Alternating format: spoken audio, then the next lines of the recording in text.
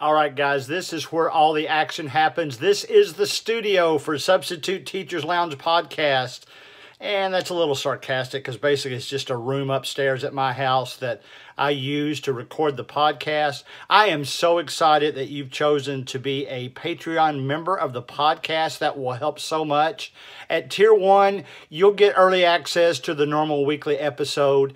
At tier two, we'll add some special episodes that will be posted from time to time.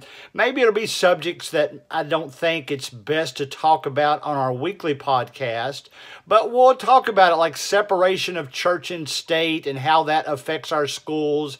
We'll talk about different things like is it okay to be considered uh, the student's favorite substitute? If they say that to you, is that okay or should you feel guilty about it? But we'll talk about things like that. And then the upper tier will also add in special videos for the for the podcast and things that I've seen that I think you all would really enjoy. But bottom line is, I am so happy that you're a Patreon member. I am going to try my best to make it worth your while. And by all means, email me at gregcollinssubstitute at gmail.com if you have some things that you'd like to see on here, and we'll make sure we get it done. But I'll see you next time on the podcast.